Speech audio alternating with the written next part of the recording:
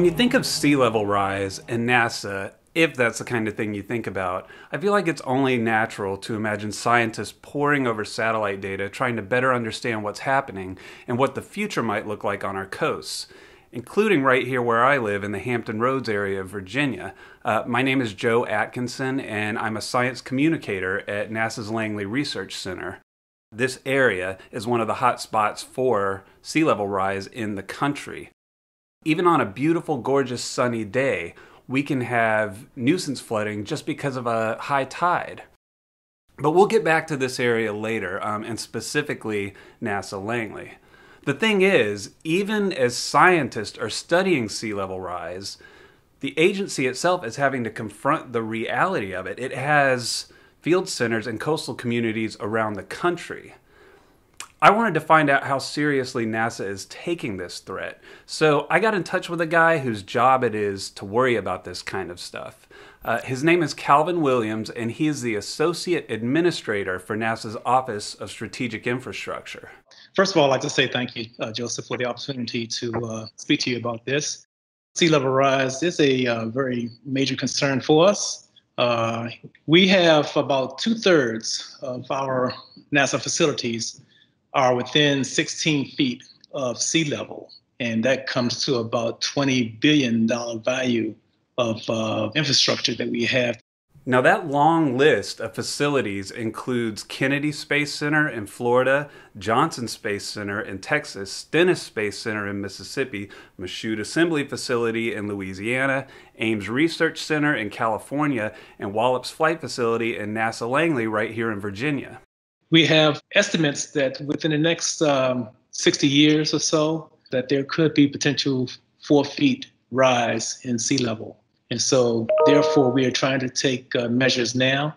Now, in broad terms, that means moving to higher ground or, you know, making facilities more resilient.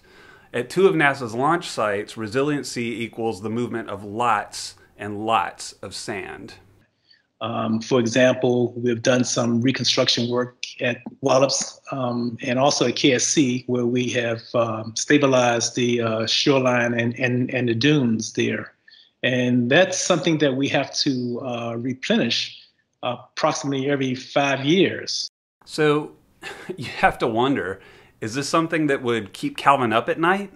Well, it is at the top of, of our list uh, definitely at the centers that are on the, the coastal areas. Uh, we want to make sure that we are taking the necessary steps to ensure that uh, in the future we have launch facilities, research facilities that can continue the mission of NASA. Now, Calvin talked about the beach replenishment efforts at Wallops and Kennedy Space Center. Um, but I kind of wanted to dig a little deeper and find out what's happening at two of NASA's research centers Ames on the West Coast, and of course, I wanted to know what's happening here at Langley on the East Coast. Um, since I work at Langley, I knew exactly who to go to, and that's Loretta Kellerman. She is the director of Langley Center Operations Directorate. Certainly, we are a, uh, a coastal uh, center. It's on the coast. We're surrounded by two rivers, um, the uh, the York River and the, the James River, and along with the Chesapeake Bay. So, a lot of opportunity for a flooding and for sea level rise to present itself as a problem uh, for our center.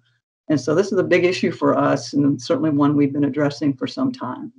Now, conservative estimates show about a 15 inch rise in sea level at Langley by 2080. Uh, more extreme estimates push that number as high as 49 inches, or about 4 feet. The center uses a flood tool as sort of a, I guess, like a crystal ball. This tool is a great tool developed by our uh, geospatial information systems folks, our GIS team, uh, that allows us to visually picture the rising sea level and which facilities and areas are affected. In 2011, following a study that highlighted some of Langley's biggest vulnerabilities, the center, which is actually NASA's oldest, it's just over 100 years old now, began taking action in the form of a major revitalization effort. Um, this effort aims to shrink and consolidate Langley's campus and minimize those vulnerabilities. We've been demolishing facilities that are in high vulnerable areas and building all of our new facilities and consolidating a lot of our our missions into uh, fewer facilities at our higher elevations. And And for us uh, at NASA Langley, our higher elevation is around 12 foot. and so we're not very high here. Further complicating the issue at Langley is a phenomenon known as subsidence. Um, the ground the center sits on is slowly sinking by about 2.2 millimeters a year. Now, if you add that to the 4.6 millimeters of sea level rise a year, uh, let me do the math here. You're actually getting about 6.8 millimeters of relative sea level rise a year at Langley currently. The center isn't taking any chances. Um, they can't pack up and head for the mountains, of course, but in addition to squeezing the campus onto the highest possible ground, they're also making really smart construction choices. The uh, study that we did in 2011, of course, recommended that we build all of our first floor elevations to 10 foot, 6 inch minimums, and that goes into our design requirements for all of our new facilities. For Loretta, sea level rise isn't just a work concern, it's a personal concern too. Uh, she and her family live right on the water. But the communities in Hampton Roads are taking the issue seriously, and the federal agencies are too. So she takes heart in that, not just as a federal employee, but also as a private citizen. I, am I'm, I'm on the water. I always say I'm on the water or I'm in the water, depending on the storm that day. so you just never know. So it is a little personal and a little um, drives a little anxiety, but I'm very encouraged by um, certainly the work that the city of Hampton's doing, and I think uh, the things that they'll do uh, will continue to support. Uh, and they're very engaged in the federal community here in Hampton, and I think all the things that they're doing are going to help our center as well to try to move water, move water out and away, you know, from the from the city. Okay, so now we're going to move all the way across the country to Ames Research Center, which is in Mountain View, California, right in the heart of Silicon Valley at the southern end of the San Francisco Bay. Now, when I reached out to Ames, they put me in touch with a guy named Garrett Turner. He is the Restoration Program Manager in the Environmental Management Division at Ames. And when Garrett thinks of sea level rise at Ames, he thinks back to 1998 and a series of storms that moved through the area. Now, this gave officials at Ames a big scare because it flooded the north end of the center and threatened to inundate a telecommunication uh, gateway facility there, which actually would have shut down the internet for all of Silicon Valley. We managed to keep that from happening by getting a lot of employees uh, both civil servants and contractors to go and put sandbags out. And then we were able to pump some of the water in the channels it, over a levee into Stevens Creek. Um, after that, we kind of decided that we needed to have a proactive uh, way of at least addressing big storms. Now, much like Langley, um, Ames, which is the second oldest NASA Field Center, decided it needed to look to higher ground. That decision was based on 100 year sea level rise projections. We are now requiring a much higher minimum elevation for a new facility that gets built. So we have these little popped up areas. And our master plan has envisioned taking facilities that are in that 100 year floodplain and relocating them and relocating the entire campus farther south which is several feet higher and has a much lower expected impact from sea level rise. But there is a wrinkle here. It's not just the bay that's a problem at Ames. There's an old system of salt ponds and levees nearby that date back to the 19th century, and they further complicate things, and it's not a problem that Ames can just deal with on its own. Levee maintenance is outside of NASA's property, and we can't go and fix all of these and keep them uh, from pouring water into uh, into NASA. One thing they're doing is working with the local water district. We're working on trying to, you know, figure out how we can reinforce those levees and potentially raise them. That we have, you know, a bicycling and walking trail, the Bay Trail that goes around they'll have to look to their neighbors on either side for help too. If we protect the levees immediately in front of us and they do nothing with theirs, we end up with the water just going over their levee and then coming in.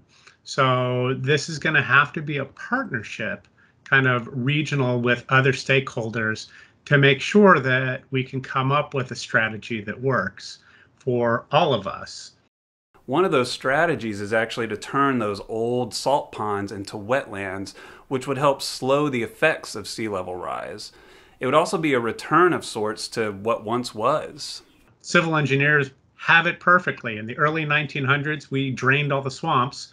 Now we're creating wetlands. It's kind of reversing what we did before. So it's all part of the same training. We've had a little change of scenery here, obviously. I wanted to wrap things up on my front porch here in Hampton. We're just a few blocks in from the water, and we're on relatively high ground. Still, worst case, long term sea level rise projections would have me sitting in the water here. Um, and even minor to moderate projections are pretty bad news for some folks right here in this neighborhood. Just a few miles across the water in Norfolk, that way, the high tide nuisance flooding I mentioned back at the beginning of this video um, is already encroaching regularly on urban areas and frequently makes city streets a gamble for drivers in all but the tallest vehicles.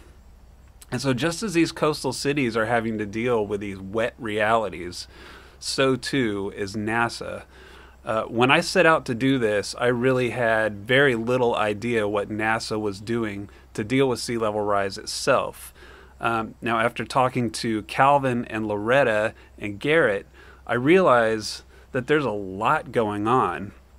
In some cases, there are things that centers can do similarly, like move facilities to higher ground to help. But there's really no one size fits all approach. Every place has its unique consideration. Ames has the levees and salt ponds, Langley has subsidence. Uh, Kennedy and Wallops have beach erosion to deal with. Staying ahead of this stuff is obviously a big, big job that requires a lot of expertise, foresight, planning and coordination. Thankfully, it's a job that NASA is taking seriously. Um, and it's a job that will allow NASA to continue its critical work in space exploration and aeronautics and earth science, even as the water keeps rolling in.